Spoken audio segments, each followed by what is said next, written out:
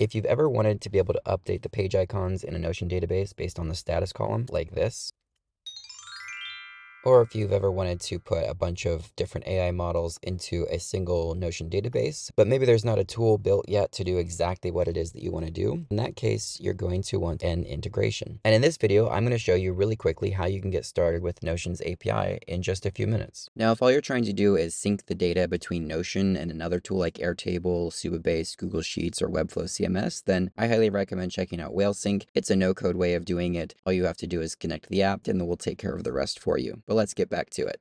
First, you're going to want to create an integration. And to do that, visit developers.notion.com. And then in the top right here, click View My Integrations. It'll take you to this page. Now you can click New Integration, give it a name up here that's actually a form field. Uh, we'll just call this one Sample. And then pick an associated workspace. So this is where the data is or the databases that you're going to want to have access to, internal or public. In this case, we'll just do internal. And if you want a logo, you can add that there. When you click Save, and you go to the configuration settings, you're going to have a secret right here. You'll want to copy this secret and save it. That's what you're going to need whenever you make a request to Notion servers.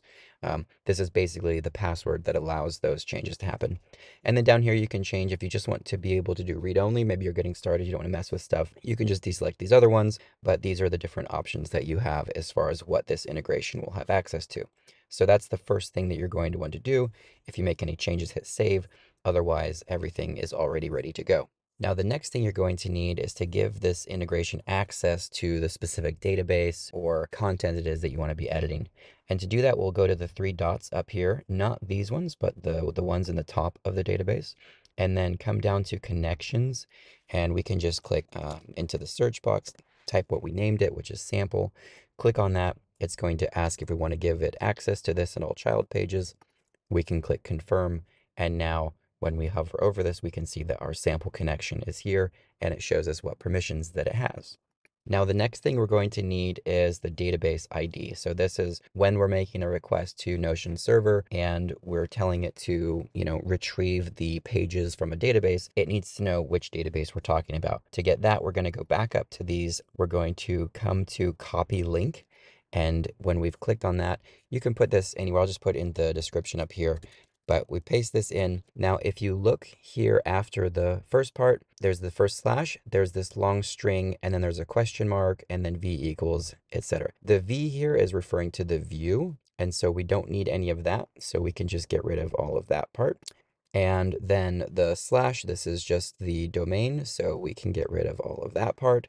And what we're left with here is the database ID for this database.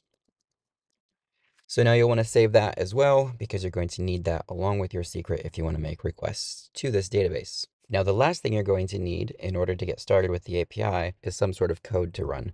And for this example, I've got this really short Python script that you should be able to just kind of copy and paste. And what this is going to do is use the Notion client and then import the database ID and the integration secret that we got from Notion, which I'm keeping in a config.py file just to keep them separate. You can do that as a env or whatever else you like, but if you're not super familiar with working with environment variables, then this is an easy way to go. And if you copy this code here, then it should all work fine. I'll explain this really quick and then and then show you what it does. So database ID is just setting it to database ID that we just got in the last little bit there. Client is using the API key to establish the username and password to be ready to connect to the server. And then here's our simple function, which just we give it a database ID and then it tries to retrieve that database and then it also tries to re retrieve the pages that are in the database and then it prints those out to the terminal. And then this line just runs this function using the database ID that we have created up here.